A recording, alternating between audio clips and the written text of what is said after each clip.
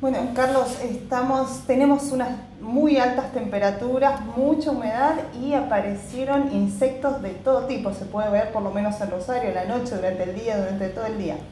Eh, así es, hay obviamente una clase de insectos que no estamos acostumbrados a verlo durante el resto del año, aparecen ahora en épocas más cálidas, ya con temperaturas de verano, asociado a la humedad que en estos días se ha potenciado sobre todo por las lluvias, eh, efecto de la corriente del niño que hace que llueva más de lo habitual.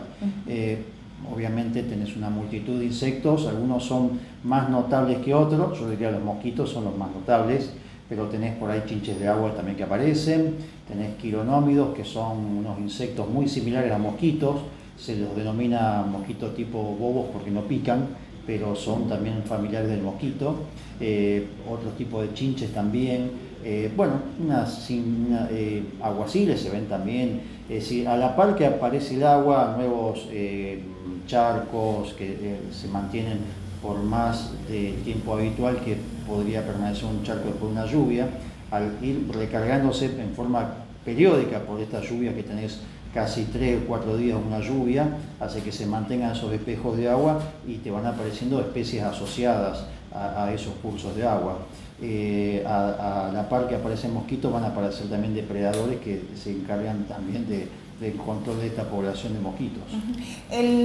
¿La crecida del, del, río influye en algo en, en, en, esta cantidad de insectos? Bueno, en realidad en este caso yo creo que tenemos otros eh, cursos de agua para que se críen estas especies. Eh, lo del río puede llegar a ser algo, me parece, secundario porque la verdad que tenemos agua por todos lados, ¿no? Entonces no habría que atribuirlo solamente a la crecida del río, más que nada a los espejos de agua que se van formando por las lluvias. Bueno, justamente de esos espejos de agua hay, se ven mucho, sobre todo en algunos parques, en, la parte del pavimento, y se ven mosquitos y que quizás hay algunas larvas. Hay que tener especial cuidado con eso, hay que prestarle atención. Mira, eh, con respecto a las chinches de agua que generan reclamos, hay que pensar que no es una especie de importancia sanitaria. Eh, entonces, los cuidados, obviamente, te puede llegar a picar, entre comillas, y mm, provocarte algún daño local, pero no es que te va a transmitir enfermedades ni nada eh, que se le parezca. En cuanto a mosquitos, el que está predominando es el mosquito tipo Culex, que si bien es molesto, eh, te puede generar algún malestar por la picazón que te produce la picadura, no va a ser de importancia sanitaria como el Aedes, por ejemplo, que es transmisor del dengue. Eh, ¿Cuánto creen ustedes que, va a durar esta permanencia de insectos, permanencia de mosquitos? ¿Va a durar durante todo el verano o es una excepción ahora que hay una gran cantidad de, lluvia? Suele suceder que a medida que entramos al verano, ya estamos encima del verano, falta una semana y comienza el verano, las lluvias empiezan a atenuarse, ya para eh, finales de diciembre ya van a ser un poco más espaciadas o deberían serlo hay que recordar que estamos en un año niño, o sea que va a llover eh, más de lo habitual. Eso no quiere decir que vamos, me parece que vamos a tener un verano muy lluvioso. Acá los veranos suelen ser bastante secos y tenemos un reinicio de lluvias allá por mediados de febrero.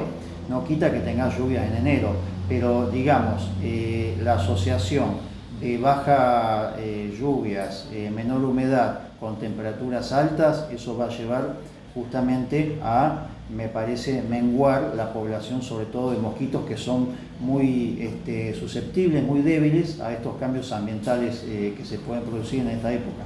¿Van a seguir las fumigaciones por parte del municipio? Sí, sí, está planificado hacer controles. Siempre el control es, digamos, este, disminuir los picos poblacionales que se suceden. Siempre lo, que se hace en un plan de fumigación siempre es complementario, no es la única acción que se hace sobre el mosquito, ni siquiera debe ser la más efectiva. Creo que eh, los eh, mismos efectos ambientales regulan la población pero de todas maneras hay refuerzos los trabajos de fumigación que se van a seguir haciendo en parques, espacios al aire libre, todo lo que es público, ¿no? donde haya mayor afluencia de personas.